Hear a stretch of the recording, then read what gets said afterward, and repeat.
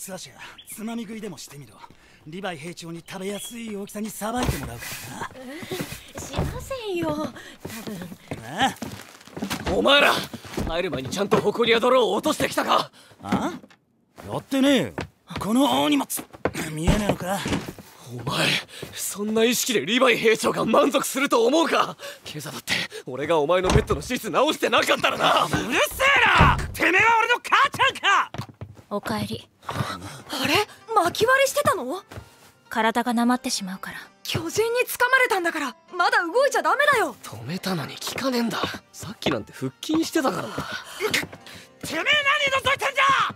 はミカサ野生動物じゃないんだから。なんだか訓練兵の時に戻ったみたいですね。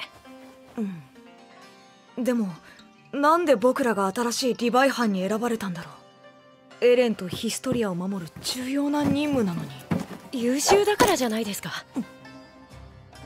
今バッグに何入れたの？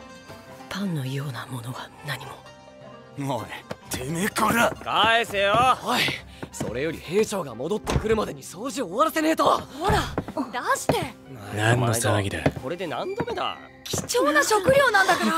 芋女てめえいい加減にしろよ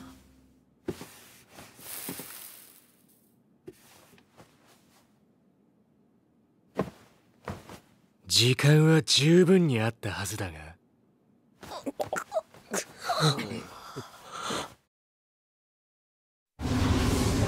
アッカーマン。それが奴のせいかガキの頃奴と暮らした時期がある。